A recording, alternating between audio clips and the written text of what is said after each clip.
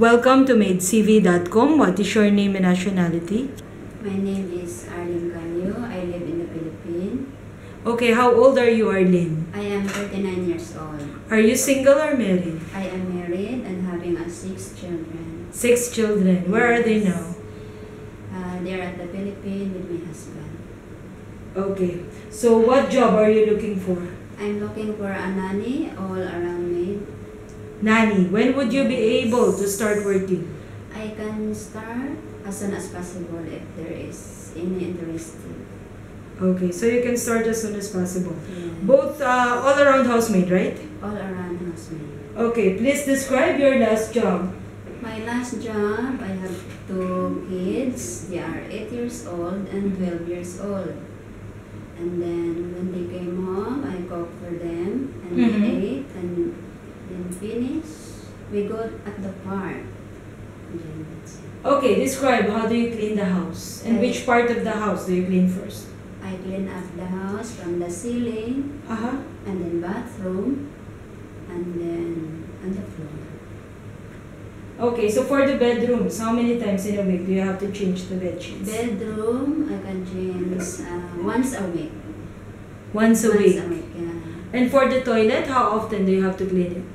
Toilet every day. I wash it all with a water. Okay, you clean it every day. Yeah. What would you do if a delivery man came to the door and your employer is not around? If the delivery man come and then my employer is not there, I need to call my madam what to do. Okay, do you know how to cook? Yes, I can. Okay, what kind of foods you can prepare? I know how to cook pasta. Mm-hmm. Yeah. But I need also the instruction of madam what Okay, so you can follow instruction in. Yes. Okay. What favorite activities you enjoy doing with children? Uh, we play at the park with the children. Mm-hmm. some fun, uh, some fun at the beach. But I don't know how to swim. Okay. So if one of the children accidentally hurts himself, what will you do? Uh, if it is bleeding, I can take a medicine kit and then put a first aid. Okay. So as a nanny, could you say no to a child? Yes, I say no to her if she does something not good. Okay. How much is your minimum expected salary? Expected salary is around 2,000 above. The minimum expected, the, the minimum salary that you're willing to accept. Give me the exact amount. Maybe 2,000 At least 2,000. Yes. Okay, so describe yourself and give a short message to your future employer. Why should they hire you? Why should they hire you? What qualities do you have? What describes you best?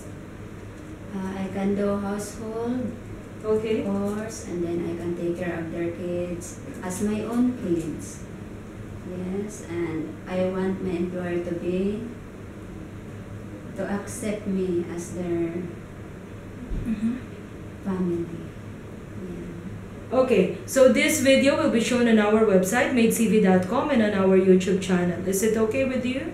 Yes, it's okay. It's okay with you. Yes. Okay. So please keep your mobile phone on with you as families will contact you. Thank you, Arlene from MaidCV.com. Thank you.